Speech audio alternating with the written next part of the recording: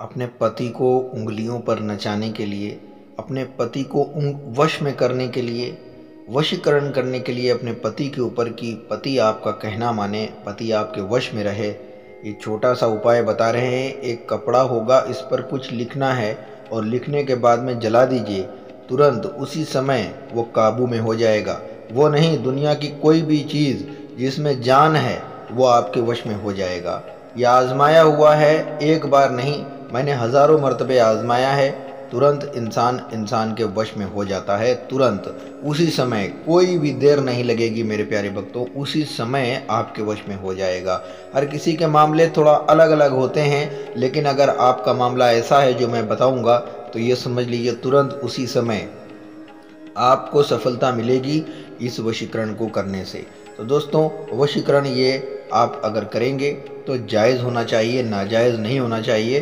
आप पति और पत्नी के ऊपर इस उपाय को करिए, तुरंत आपको सफलता मिलेगी और पति और पत्नी पर इसलिए वशीकरण किया जाए, पहले इन बातों को ध्यान से समझ लीजिए, उसके बाद में ही ये वशीकरण का कार्य करना शुरू कीजिएगा। और वीडियो देखते देखते आप इस उपाय को कीजिए, वीडियो ख़त्म नहीं हो पाएगा, काम बन जाएगा आपका, यह मैं गारंटी लेता हूँ। लेकिन पूरे यकीन के साथ में पूरे मन से पूरी श्रद्धा से इस उपाय को करेंगे और ये कपड़े द्वारा वशीकरण किया जा रहा है, इस बात का ध्यान रखिएगा।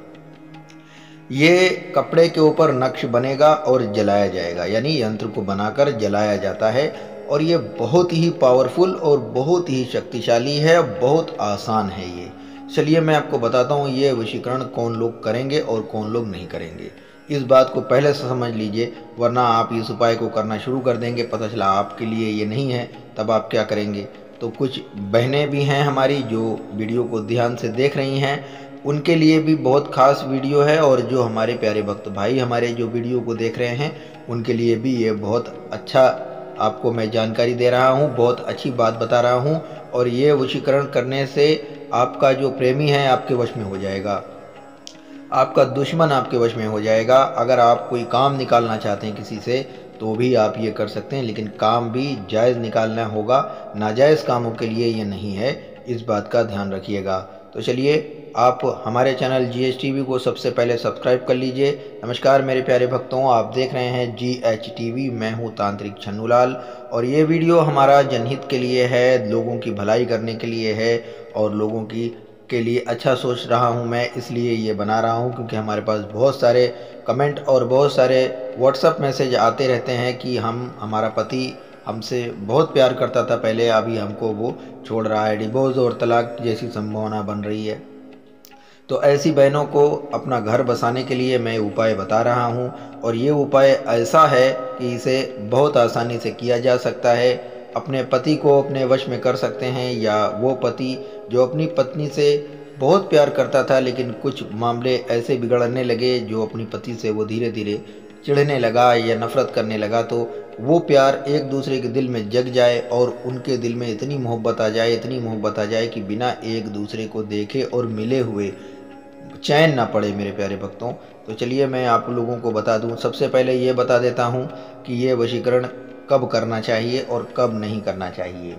तो सबसे पहली बात ये आप ध्यान से समझ लीजिए, यदि आप ऐसे समय में है जो महिलाएँ, ऐसे समय में है जो रसोई में नहीं जा सकती, मंदिर वगैरह में नहीं जा सकती, पूजा वगैरह नहीं कर सकती, ऐसे समय में जब वो अपवित्र होती हैं, जिसको नापाक बोलते हैं, उस समय में, क्योंकि हर महीने ये होना ही है तो जब वो साफ़ हो जाएँ, तभी इस उपाय को करेंगी। तो पहली बात आपने ये ध्यान से समझ ली।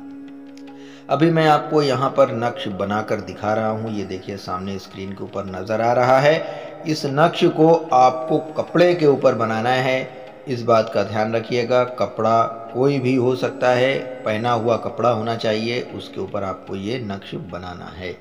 अब इसे अगर पुरुष बना रहा है तो वो भी कुछ ध्यान से समझ लिए बात को।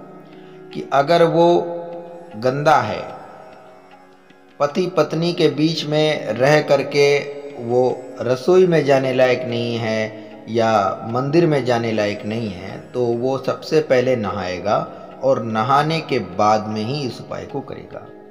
तो जब आप साफ़ हों कपड़े आपके पास पुराने हैं तो कप, पुराने कपड़े धुले हुए पहन लीजिए कोई ये ज़रूरी नहीं है आपको नया कपड़ा लाना है। आप साफ़ होने चाहिए। क्योंकि ये हमारा वीडियो हमारे गरीब भाई भी देख रहे हैं, जिनके पास पैसा है, वो लोग भी देख रहे हैं। तो हम चाहते हैं कि ये वीडियो जिनके पास भी जा रहा है, वो इस उपाय को करके, क्योंकि प्यार अमीर के पास भी है, प्यार गरीब के पास भी है तो सबके पास प्यार है और सबको अपना प्यार चाहिए। और मैं भगवान से यही प्रार्थना करता हूँ कि जो लोग एक दूसरे से प्यार कर रहे हैं, उनका प्यार जन्मों जन्म चले। और एक दूसरे के बिल, दिल में एक दूसरे के लिए मोहब्बत बेानतहा पैदा हो, मैं यही प्रार्थना करता हूँ। दोस्तों, माता रानी की कृपा रहेगी तो इस उपाय को करने के बाद में आपको दूसरा कोई उपाय नहीं करना पड़ेगा। और इस उपाय को करने के बाद में माता रानी की की कृपा रहेगी तो तुरंत आपको सफलता मिलेगी।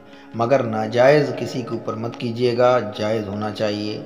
यंत्र में कोई गलती नहीं होनी चाहिए तो कैसे बनाना है, इस बात का अब आपको ध्यान रखना है। तो चलिए मैं आपको बता देता हूँ। सबसे पहले आपको कपड़ा लेना है। कपड़ा स्त्री का हो या पुरुष का, कपड़ा होना चाहिए और कपड़े को आपको काट लेना है। ध्यान से समझिएगा, आपको कपड़ा काटना है क्योंकि हमारे जो उपाय हैं, ये हन्नूसी, वशीकरण या हन्नूसी तंत्र मंत्र आप देखते हैं।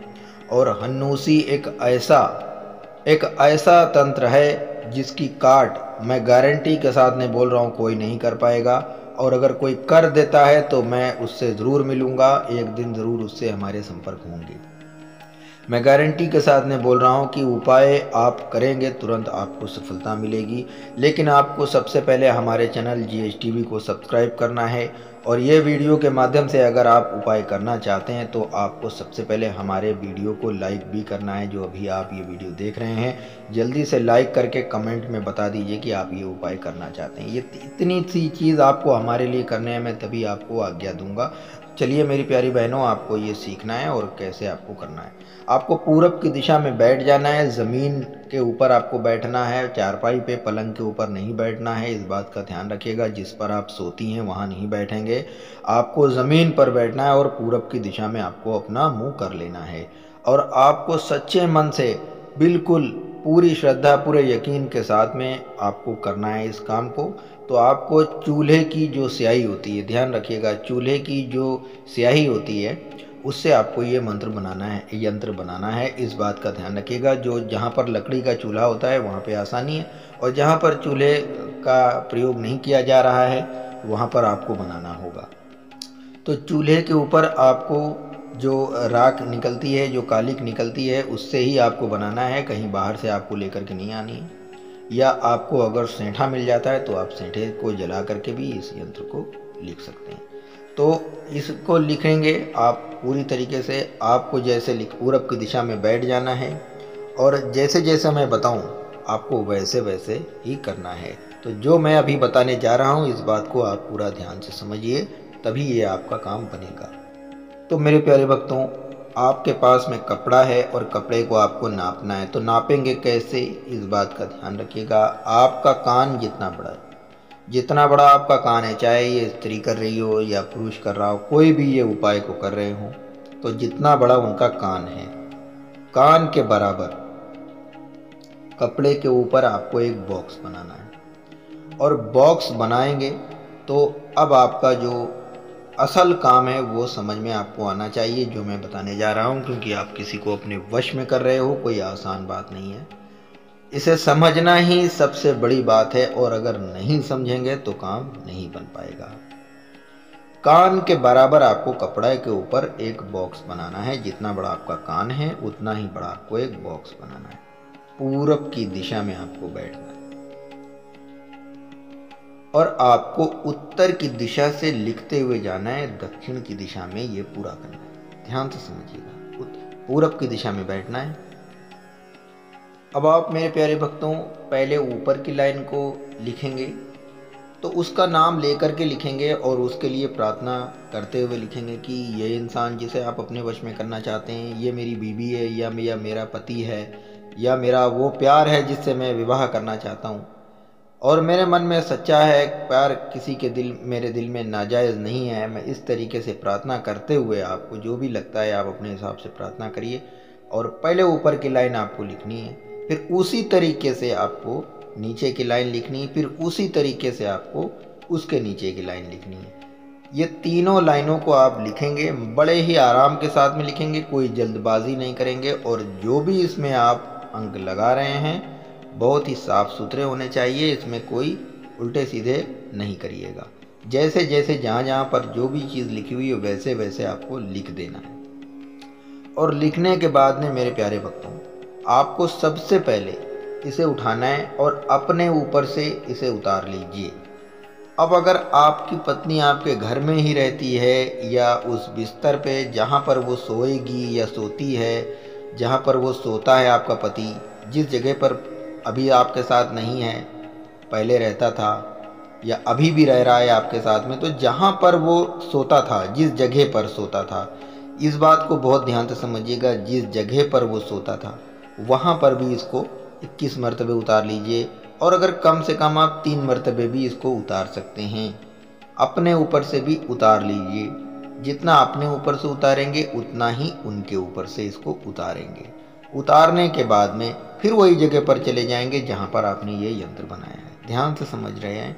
बहुत अच्छे से समझिएगा और जाने के बाद में इसको आप उल्टे हाथ से पकड़ेंगे और सीधे हाथ से जलाएँगे। तो जब जलाएँगे तो नीचे की लाइन को जलाते हुए ऊपर अपने आप ये कपड़ा जल जाएगा, इसकी राख उठा लीजिए और उसके बिस्तर के ऊपर डाल दीजिए।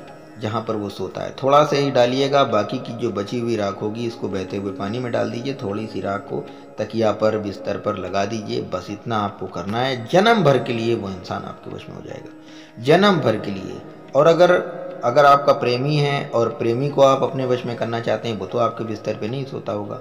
तो उसके लिए क्या करना है, हम आपको पूरी जानकारी देंगे। आप मुझे कमेंट कीजिएगा, मैं आपको हर किसी के कमेंट में जवाब दूँगा और हर किसी को मैं पूरी जानकारी दूँगा। मगर ये उपाय करना चाहें तो कभी भी किसी भी दिन कर सकते हैं, लेकिन हमारे वीडियो को लाइक ज़रूर कीजिएगा।